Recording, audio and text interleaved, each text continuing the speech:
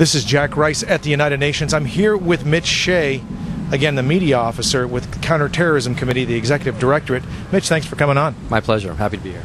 I think about terrorism, and obviously it's a huge issue. After 9 11, first of all, it, was, it was a huge issue before 9 11, but I think in the minds of Americans at least, we saw terrorism as the fundamental issue.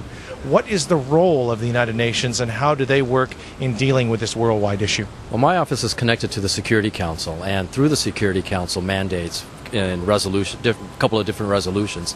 Uh, our job has been to really um, sort of work with member states to identify uh, their strong points, uh, their weaknesses, any gaps that they might have in their counterterrorism ability, and then to try to help work with them in tandem to, uh, uh, with donor countries to find uh, expertise to help them build up that capacity that they need to fight terrorism. Do you find that they turn to you?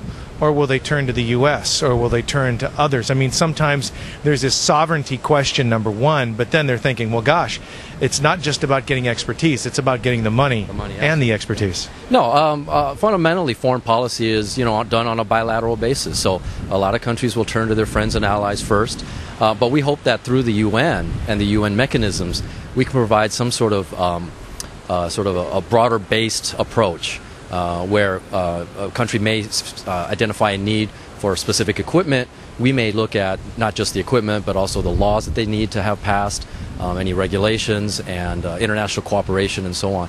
So we approach it from a multifaceted, holistic uh, point of view.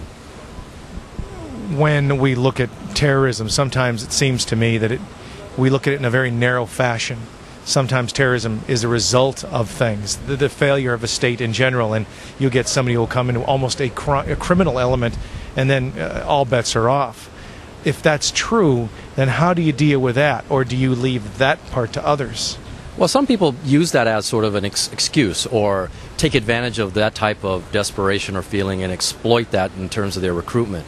Well, from my own perspective, working at the UN, I think what the UN can provide is again this holistic approach. If we deal with poverty and we deal with hunger, we deal with political inequities and so on, we will no longer give these um, extremists, if you will, um, the opportunity or the reasons uh, to exploit that type of dissatisfaction.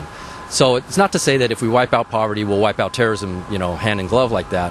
But I think it will be um, you'll you'll find fewer people turning to uh, extreme measures or extreme ideologies because they will no longer feel that sense of desperation that can be exploited by the people.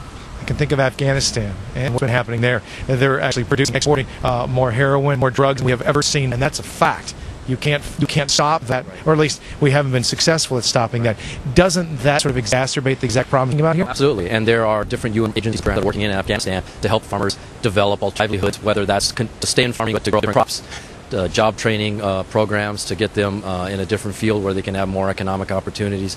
But the reality is, we find that uh, the other side of it, the demand, makes it more lucrative for them to stay in the, the heroin uh, growing business. So you need to sort of tackle that side of it too, the social dimension of uh, reducing the demand, so therefore there's no incentive for these people to continue to grow the, the opium now I'm thinking about Colombia, you know, with, with the cartels who were smart enough to say, well, gosh, if the if the international community isn't doing this, if the country isn't doing it themselves, and I'm talking about building schools, helping uh, uh families, helping communities, we can do this ourselves. We can exacerbate the situation, and we're going to get all of those people looking to us. And then then the cartels did very very well.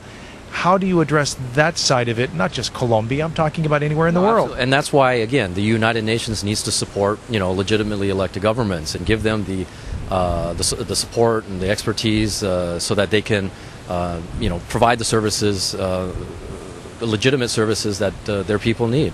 And uh, there'll be less of a there'll be less space for these type of non-state groups to come in and sort of serve as the social institutions and you know. But um, but it, you know, it's a long, you know, road to hoe, and uh, we've got to have all the different actors here at the United Nations cooperating together with the member states. Are you optimistic that in the long term you're going to be able to succeed? Sure, that's why I'm working here. You know, I mean, it's it's a bit corny to say, but um, no, it's a, it's a disaster. I, it's, uh, everybody's going to die, and the world's kind of come to an end. Yeah, no, but I think you know there's a bit of uh, that idealism that drives each and every one of us that works here. So um, that's you know when like with any job, you have your ups and downs, and I think that's what you have to keep your focus on. That in the long run, somehow or another, our efforts, however small or big, will, will eventually pay off. And, and I really see that in, in, in our counterterrorism work. You know, more countries are receptive to what we're trying to, to help them with, and um, you know, they, they might come to us with the approach that, uh, oh, we're like the, the bogeyman and we're going to uh, evaluate them or give them bad marks. But that's not our that's not our job. Our job is to really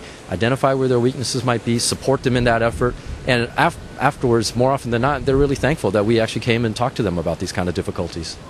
Mitch, thank you so much. My pleasure. As we talk about terrorism, counterterrorism, we realize it is not just something that happens right here in the U.S. It happens on a worldwide basis, and I guess where, who better to go to than the one world body who looks at it at that level, the United Nations. This is Jack Rice in New York City.